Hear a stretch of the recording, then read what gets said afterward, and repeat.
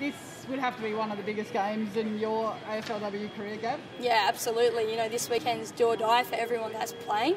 Um, so our backs are against the wall, and, and we need to win this one.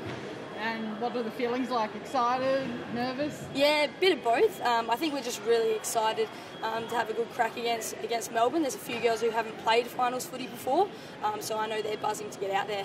And what do you tell them because you have played some finals? Yeah, I like to have a bit of fun and just relax, so um, I try to make that rub off on them. Um, but whatever works for them to get themselves ready for the game, um, yeah, I just try and tell them that. Did you sort of have to regroup, okay, it's do or die from here after you knew where you finished on the ladder after the weekend? Yeah, no, absolutely. Um, you know, we knew that we'd still be in finals regardless of the outcome against North Melbourne. We still wanted to play um, well against them. Um, but yeah, going into this week, we need to leave it all out there. And what's the key to beating Melbourne? Oh, we only lost against them by um, five points last time, so just effort for four quarters and being really kept clean with the football.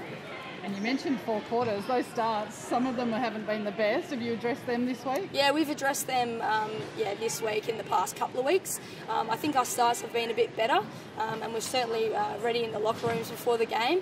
Um, but yeah, just getting it out there again. Finals footy, I think we'll be ready. You confident that'll fire you up enough for the first term? Yeah, absolutely. As I said, do or die. So um, we need to be. Otherwise, there's no tomorrow. And and getting a fast start in the final is I guess you don't know, but you'd think that's a key to a win. It's going to be hot footy, and Melbourne are playing um, do or die as well. Um, so we know we know we need to bring it. If we play Freo footy, we should be should be fine.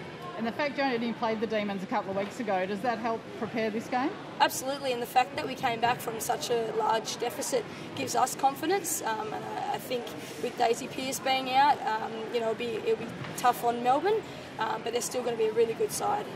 You're still one of the best sides in the comp. Can you win it from where you are?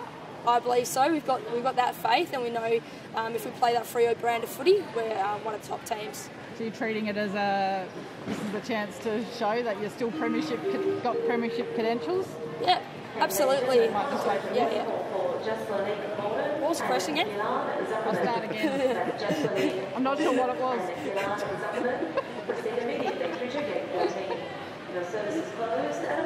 awaiting departure. Are you treating it like you've got a bit of a point, point to prove that you can still win it from where you finished? Yeah, absolutely. I, I think um, people may have written us off, so we kind of like to have that underdog status. Um, we just got to do our best and uh, play Freo footy.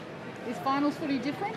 Oh, absolutely. It's a lot more exciting. Uh, there's a lot more heat in the game, and everyone's playing with that desperation, so I love it.